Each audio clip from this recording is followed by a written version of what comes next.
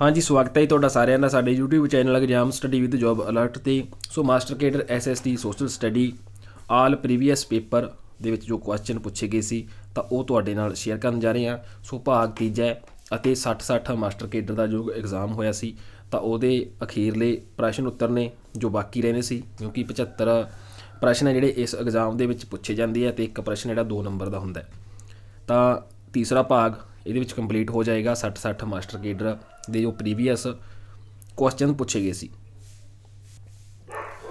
ਤਾਂ ਪ੍ਰਸ਼ਨ ਨੰਬਰ 56 ਤੋਂ ਸਟਾਰਟ ਕਰਾਂਗੇ ਭਾਰਤ ਦੇ ਵਿੱਚ ਸਰਵਉੱਚ ਅਦਾਲਤ ਦੀ ਸਥਾਪਨਾ ਅਤੇ ਸੰਗਠਨ ਇਹਦੇ ਨਾਲ ਸੰਬੰਧਿਤ ਕਿਹੜਾ ਆਰਟੀਕਲ ਹੈ ਸੋ ਆਰਟੀਕਲਾਂ ਤੇ 2 ਤੋਂ ਲੈ ਕੇ 3 ਤੱਕ ਪ੍ਰਸ਼ਨ ਪੁੱਛੇ ਹੀ ਪੁੱਛੇ ਜਾਣਗੇ ਤਾਂ ਆਰਟੀਕਲ ਨੇ ਜ਼ਰੂਰ ਯਾਦ ਕਰ ਲਿਓ ਤਾਂ ਇੱਕ ਸਪੈਸ਼ਲ ਅਲੱਗ ਤੋਂ ਵੀਡੀਓ ਤੁਹਾਨੂੰ ਆਰਟੀਕਲ ਤੇ ਵੀ ਪ੍ਰੋਵਾਈਡ ਹੈ ਜਿਹੜੀ ਉਹ ਕਰ ਦਿੱਤੀ ਜਾਏਗੀ ਤਾਂ ਆਰਟੀਕਲ 124 ਆਰਟੀਕਲ 126 ਆਰਟੀਕਲ 131 ਜਾਂ ਫਿਰ ਆਰਟੀਕਲ 143 ਤਾਂ ਭਾਰਤ ਦੇ ਵਿੱਚ ਸਰਵਉੱਚ ਅਦਾਲਤ ਦੀ ਸਥਾਪਨਾ ਅਤੇ ਸੰਗਠਨ ਨਾਲ ਜਿਹੜਾ ਸੰਬੰਧਿਤ ਆਰਟੀਕਲ ਹੈ, ਉਹ ਹੈ ਆਰਟੀਕਲ 124 ਇਸ ਦੇ ਤਹਿਤ ਜਿਹੜੀ ਸੰਗਠਨ ਅਤੇ ਸਰਵਉੱਚ ਅਦਾਲਤ ਦੀ ਸਥਾਪਨਾ ਜਿਹੜੀ ਕੀਤੀ ਜਾਂਦੀ ਹੈ।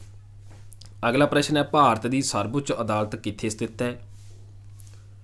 ਦਿੱਲੀ, ਕਲਕੱਤਾ, ਮੁੰਬਈ ਜਾਂ ਫਿਰ ਚੇਨਈ ਦੇ ਵਿੱਚ? ਤਾਂ ਕਮੈਂਟ ਜ਼ਰੂਰ ਕਰਦੇ ਜਾਇਓ।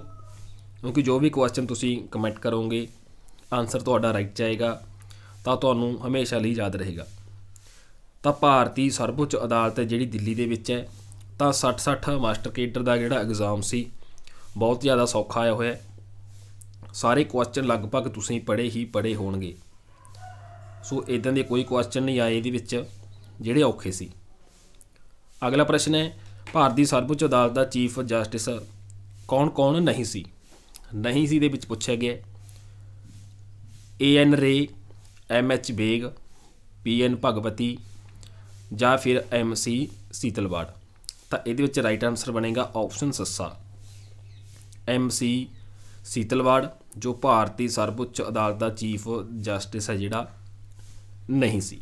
ਤਾਂ ਆਪਸ਼ਨ ਸੱਸਾ ਸਾਡਾ ਰਾਈਟ ਆਨਸਰ ਆਏਗਾ।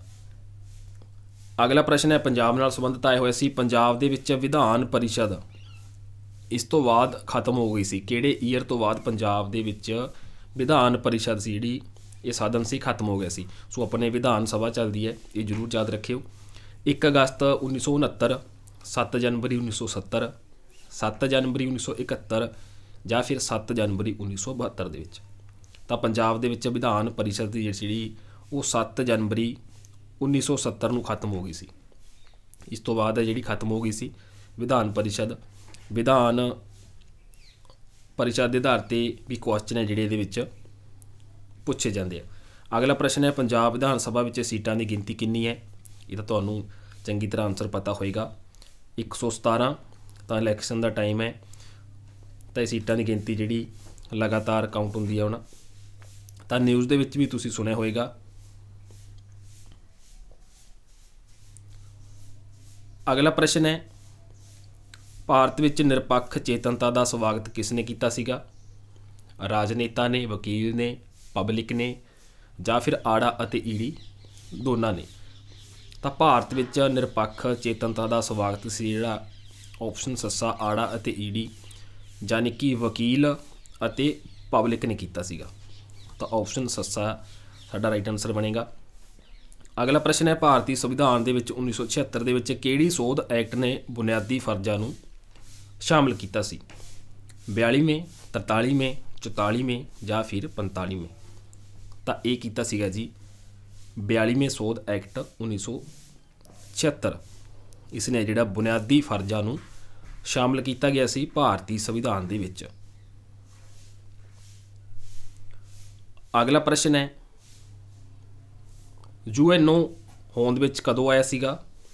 24 ਅਕਤੂਬਰ 1944 25 ਅਕਤੂਬਰ 1944 24 ਅਕਤੂਬਰ 1945 ਜਾਂ ਫਿਰ 25 ਅਕਤੂਬਰ 1945 ਤਾਂ ਮੋਸਟ ਇੰਪੋਰਟੈਂਟ ਕੁਐਸਚਨ ਹੈ ਇਹ ਯੂਐਨਓ ਦਾ ਤਾਂ ਯੂਐਨਓ ਜਿਹੜਾ ਹੋਂਦ ਵਿੱਚ ਆਇਆ ਸੀ ਆਪਸ਼ਨ ਈਡੀ 24 ਅਕਤੂਬਰ 1945 ਨੂੰ ਯੂਐਨਓ ਹੈ ਜਿਹੜਾ ਹੋਂਦ ਵਿੱਚ ਆਇਆ ਸੀ ਅਤੇ ਯੂਐਨਓ ਦੇ ਪਹਿਲੇ ਸੈਕਟਰੀ ਜਨਰਲ ਕੌਣ ਸੀਗੇ ਟ੍ਰਾਈਗਵਲੀ ਜ਼ੂਥਾਂਟ ਕਾਰਟਵਲ ਥੀਮ ਕਾਫੀ ਅਨਾਨ ਸੋ ਬਹੁਤ ਜ਼ਿਆਦਾ ਔਖੇ ਨਾਮ ਨੇ ਇਹ।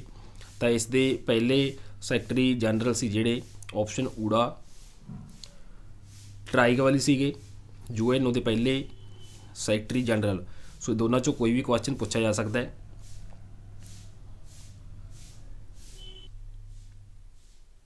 ਅਗਲਾ ਪ੍ਰਸ਼ਨ ਹੈ ਇੰਟਰਨੈਸ਼ਨਲ ਕੋਰਟ ਆਫ ਜਸਟਿਸ ਦਾ ਮੁੱਖ ਦਫ਼ਤਰ ਕਿੱਥੇ ਸਥਿਤ ਹੈ? ਹੇਗ ਵਿਖੇ, ਰੋਮ ਵਿਖੇ, ਪੈਰਿਸ ਵਿਖੇ ਜਾਂ ਫਿਰ ਜਨੇਵਾ ਵਿਖੇ? ਤਾਂ ਇੰਟਰਨੈਸ਼ਨਲ ਕੋਰਟ ਆਫ ਜਸਟਿਸ ਦਾ ਜਿਹੜਾ ਮੁੱਖ ਦਫ਼ਤਰ ਹੈ, ਉਹ ਹੇਗ ਵਿਖੇ ਹੈ। ਆਪਸ਼ਨ ਊੜਾ ਰਾਈਟ ਆਨਸਰ ਬਣੇਗਾ। ਯੂਨੈਸਕੋ ਦਾ ਮੁੱਖ ਦਫ਼ਤਰ ਕਿੱਥੇ ਸਥਿਤ ਹੈ? ਰੋਮ, ਪੈਰਿਸ ਨਿਊਯਾਰਕ ਜਾਂ ਫਿਰ ਲੰਡਨ। ਤਾਂ ਯੂਨੈਸਕੋ ਦਾ ਜਿਹੜਾ ਮੁੱਖ ਦਫ਼ਤਰ ਹੈ, ਉਹ ਪੈਰਿਸ ਵਿਖੇ ਹੈ। ਤਾਂ ਦੋਨਾਂ ਚੋਂ ਕੋਈ ਵੀ ਕੁਐਸਚਨ ਪੁੱਛਿਆ ਜਾ ਸਕਦਾ ਹੈ। ਇੰਟਰਨੈਸ਼ਨਲ ਕੋਰਟ ਆਫ ਜਸਟਿਸ ਦਾ ਮੁੱਖ ਦਫ਼ਤਰ ਪੁੱਛਿਆ ਜਾਵੇ ਤਾਂ ਹੇਗ ਵਿਖੇ ਹੈ, ਯੂਨੈਸਕੋ ਦਾ ਪੈਰਿਸ ਵਿਖੇ ਹੈ। ਅਗਲਾ ਪ੍ਰਸ਼ਨ ਹੈ, ਕਿਹੜਾ ਦੇਸ਼ ਯੂਐਨਓ ਦੀ ਸੁਰੱਖਿਆ ਸਭਾ ਦਾ ਸਥਾਈ ਮੈਂਬਰ ਨਹੀਂ ਹੈ? ਯੂਕੇ, ਚੀਨ, ਕੈਨੇਡਾ ਜਾਂ ਫਿਰ ਫਰਾਂਸ? ਤਾਂ ਇਹ ਦੇਸ਼ ਹੈ ਜੀ ਕੈਨੇਡਾ, ਆਪਸ਼ਨ ਡੀ। ਜਿਹੜਾ ਯੂਐਨਓ ਦੀ ਸੁਰੱਖਿਆ ਸਭਾ ਦਾ ਸਥਾਈ ਮੈਂਬਰ ਨਹੀਂ ਹੈ, ਜਿੱਥੇ ਜਿਸ ਨੂੰ ਮਿੰਨੀ ਪੰਜਾਬ ਵੀ ਕਿਹਾ ਜਾਂਦਾ ਹੈ, ਇਹ ਯਾਦ ਰੱਖ ਲਿਓ ਕੈਨੇਡਾ ਨੂੰ। ਅਗਲਾ ਪ੍ਰਸ਼ਨ ਹੈ, ਸਾਮਵਾਦੀ ਚੀਨ ਨੂੰ ਯੂਐਨਓ ਵਿੱਚ ਵੀਟੋ ਪਾਵਰ ਕਦੋਂ ਮਿਲੀ ਸੀ? ਇਹਦੇ ਵਿੱਚ ਵੀ ਦੋ ਪ੍ਰਸ਼ਨ ਬਣਦੇ ਆ ਸਾਮਵਾਦੀ ਦੇਸ਼ ਕਿਹੜਾ ਹੈ, ਚੀਨ ਅਤੇ ਚੀਨ ਨੂੰ ਯੂਐਨਓ ਵਿੱਚ ਵੀਟੋ ਪਾਵਰ ਕਦੋਂ ਮਿਲੀ ਸੀ, ਕਿਹੜੇ ਈਅਰ ਦੇ ਵਿੱਚ? 1970 71 72 ਜਾਂ ਫਿਰ 75 ਦੇ ਵਿੱਚ। ਤਾਂ ਇਹ ਮਿਲੀ ਸੀ ਜੀ 1971 ਦੇ ਵਿੱਚ। ਸਾਮਵਾਦੀ ਦੇਸ਼ ਚੀਨ ਨੂੰ ਯੂਐਨਓ ਵਿੱਚ ਵੀਟੋ ਪਾਵਰ ਹੈ ਜਿਹੜੀ, ਮਿਲੀ ਸੀ। ਅਗਲਾ ਪ੍ਰਸ਼ਨ ਹੈ ਯੂਐਨਓ ਦਾ ਸੈਕਟਰੀ ਜਨਰਲ ਕੌਣ ਹੈ? ਤਾਂ ਇੱਥੇ ਸੈਕਟਰੀ ਜਨਰਲ ਪੁੱਛਿਆ ਗਿਆ ਹੈ। ਇਹ ਜ਼ਰੂਰ ਯਾਦ ਰੱਖਿਓ, ਕਈ ਵਾਰ ਪਹਿਲਾਂ ਪੁੱਛ ਲਿਆ ਜਾਂਦਾ ਹੈ, ਜਾਂ ਫਿਰ ਇਸੇ ਤਰ੍ਹਾਂ ਤੁਹਾਨੂੰ ਕੁਐਸਚਨ ਪੁੱਛ ਲਿਆ ਜਾਂਦਾ ਕਿ ਯੂਐਨਓ ਦਾ ਸੈਕਟਰੀ ਜਨਰਲ ਕੌਣ ਹੈ? ਐਂਟੀਓ ਗੁਟਰਸ ਜੂਥਾਂਟ ਕਾਫੀ ਅਨਾਨ ਜਾਂ ਬਾਨ ਕੀ ਮੂਨ ਤਾਂ ਯੂਐਨਓ ਦਾ ਸੈਕਟਰੀ ਜਨਰਲ ਹੈ ਜਿਹੜਾ ਹੈ ਆਪਸ਼ਨ ਊੜਾ ਐਂਟੀਨੋ ਗੋਡਰਸ ਹੈ। ਅਗਰ ਸੈਕਟਰੀ ਪੁੱਛਿਆ ਜਾਂਦਾ ਕੱਲਾ ਤਾਂ ਗੋਡਰਸ ਗੁਟਰਸ ਆ ਜਾਏਗਾ। ਅਤੇ ਜੋ ਪਹਿਲਾ ਸੈਕਟਰੀ ਜਨਰਲ ਪੁੱਛਿਆ ਜਾਂਦਾ ਹੈ, ਤਾਂ ਟਰਾਈਗਵਲੀ ਆ ਜਾਏਗਾ। ਸੋ ਇਹ ਜ਼ਰੂਰ ਯਾਦ ਰੱਖਿਓ। ਅਗਲਾ ਪ੍ਰਸ਼ਨ ਹੈ, ਭਾਰਤ ਵਿੱਚ ਸੰਘਵਾਦ ਦੇ ਮਾਡਲ ਕਿਹੜੇ ਹਨ? ਇੱਕਵਾਦੀ ਸੰਘਵਾਦ, ਸਹਿਕਾਰੀ ਸੰਘਵਾਦ ਸੌਤੇਬਾਜ਼ੀ ਸੰਘਵਾਦ ਜਾਂ ਫਿਰ ਉਪਰੋਕਤ ਸਾਰੇ। ਤਾਂ ਇਹਦਾ ਰਾਈਟ ਆਨਸਰ ਆਏਗਾ ਆਪਸ਼ਨ ਸੱਸਾ। ਉਪਰੋਕਤ ਸਾਰੇ। ਭਾਰਤ ਦੇ ਵਿੱਚ ਸੰਘਵਾਦ ਦੇ ਜਿਹੜੇ ਮਾਡਲ ਨੇ, ਉਹ ਇੱਕਵਾਦੀ ਸੰਘਵਾਦ ਵੀ ਹੈ, ਸਹਿਕਾਰੀ ਸੰਘਵਾਦ ਵੀ ਹੈ ਅਤੇ ਸੌਦੇਬਾਜ਼ੀ ਸੰਘਵਾਦ ਵੀ ਹੈ। ਇਸ ਕਰਕੇ ਆਪਸ਼ਨ ਸੱਸਾ ਸਾਡਾ ਰਾਈਟ ਆਨਸਰ ਬਣੇਗਾ। ਸਰਕਾਰੀਆ ਕਮਿਸ਼ਨ ਜਾਣਿਆ ਜਾਂਦਾ ਹੈ। ਕਿਸ ਲਈ ਜਾਣਿਆ ਜਾਂਦਾ ਹੈ? ਕੇਂਦਰ ਰਾਜ ਸਬੰਧਾਂ ਦੇ ਲਈ, ਭਾਸ਼ਾ ਨੀਤੀ ਦੇ ਲਈ, ਵਿੱਤੀ ਚੱਕਬੰਦੀ ਦੇ ਲਈ ਜਾਂ ਪਾਣੀ ਝਗੜਿਆਂ ਲਈ। ਤਾਂ ਸਰਕਾਰੀਆ ਕਮਿਸ਼ਨ ਹੈ ਜਿਹੜਾ ਇਹ ਕੇਂਦਰ ਅਤੇ ਰਾਜ ਦੇ ਸਬੰਧਾਂ ਲਈ ਜਾਣਿਆ ਜਾਂਦਾ ਹੈ। ਯਾਨੀ ਕਿ ਰਾਜ ਯਾਨੀ ਕਿ ਕੋਈ ਸਟੇਟ ਹੋ ਗਈ, ਤਾਂ ਸਟੇਟ ਦਾ ਸੈਂਟਰ ਦੇ ਨਾਲ ਸੰਬੰਧ। ਜਿਵੇਂ ਪੰਜਾਬ ਦਾ ਸੈਂਟਰ ਦੇ ਨਾਲ ਸੰਬੰਧ ਹੋ ਗਿਆ, ਹਰਿਆਣਾ ਦਾ ਸੈਂਟਰ ਦੇ ਨਾਲ ਸੰਬੰਧ ਹੋ ਗਿਆ, ਇਸ ਤਰ੍ਹਾਂ। ਤਾਂ ਸਰਕਾਰੀਆ ਕਮਿਸ਼ਨ ਜਿਹੜਾ ਕੇਂਦਰ ਅਤੇ ਰਾਜ ਦੇ ਸੰਬੰਧਾਂ ਲਈ ਹੈ, ਜਾਣਿਆ ਜਾਂਦਾ ਹੈ। ਅਗਲਾ ਪ੍ਰਸ਼ਨ ਹੈ, ਭਾਰਤ ਵਿੱਚ ਚੋਣ ਆਯੋਗ ਕਦੋਂ ਸਥਾਪਿਤ ਹੋਇਆ ਸੀ? 15 ਅਗਸਤ 1947 25 ਜਨਵਰੀ 1949 25 ਜਨਵਰੀ 1950 ਜਾਂ ਫਿਰ 25 ਜਨਵਰੀ 1951 ਤਾਂ ਭਾਰਤ ਦੇ ਵਿੱਚ ਚੋਣ ਆਯੋਗ ਹੈ ਜਿਹੜਾ 25 ਜਨਵਰੀ 1950 ਨੂੰ ਸਥਾਪਿਤ ਹੋਇਆ ਸੀਗਾ। ਆਪਸ਼ਨ ਈਡੀ ਸਾਡਾ ਰਾਈਟ ਆਨਸਰ ਆਏਗਾ। ਅਗਲਾ ਪ੍ਰਸ਼ਨ ਹੈ, ਭਾਰਤ ਵਿੱਚ ਚੋਣ ਆਯੋਗ ਕਦੋਂ ਇੱਕ ਬਹੁ ਮੈਂਬਰੀ ਸੰਸਥਾ ਬਣੀ ਸੀ? 1 ਅਕਤੂਬਰ 1993 1 ਅਕਤੂਬਰ 1994 1 ਅਕਤੂਬਰ 1995 ਜਾਂ ਫਿਰ 1 ਅਕਤੂਬਰ 1996 ਦੇ ਵਿੱਚ। ਤਾਂ ਭਾਰਤ ਦੇ ਵਿੱਚ ਚੋਣ ਆਯੋਗ ਇੱਕ ਬਹੁ ਮੈਂਬਰੀ ਸੰਸਥਾ ਬਣੀ ਸੀ 1 ਅਕਤੂਬਰ 1993 ਦੇ ਵਿੱਚ ਅਤੇ ਚੋਣ ਆਯੋਗ ਸਥਾਪਿਤ ਹੋਇਆ ਸੀ 25 ਜਨਵਰੀ 1950 ਦੇ ਵਿੱਚ।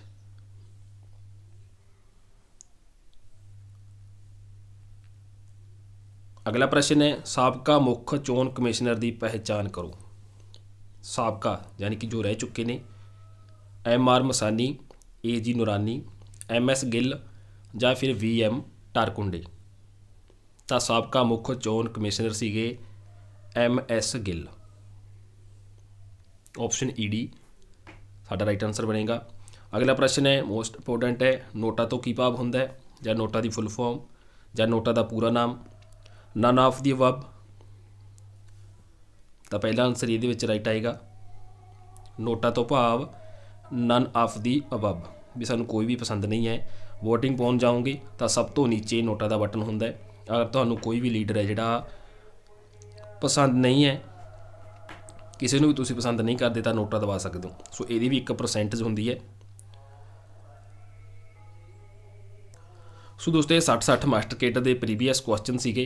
75 ਕੁਐਸਚਨ ਸੀ। 75 ਕੁਐਸਚਨ ਤੁਹਾਨੂੰ ਮਾਸਟਰ ਕੇਡਰ ਦੇ ਐਗਜ਼ਾਮ ਵਿੱਚ ਪੁੱਛੇ ਜਾਣਗੇ। ਇੱਕ ਪ੍ਰਸ਼ਨ ਦੇ ਦੋ ਨੰਬਰ ਹੋਣਗੇ। ਸੋ ਕੱਲ੍ਹ ਨੂੰ ਤੁਹਾਨੂੰ 35 82 ਮਾਸਟਰ ਕੇਡਰ ਦੇ ਵਿੱਚ ਪੁੱਛੇ ਗਏ ਪੁਰਾਣੇ ਪ੍ਰਸ਼ਨ ਸੀ ਜਿਹੜੇ, ਉਹ ਸ਼ੇਅਰ ਕਰਾਂਗੇ।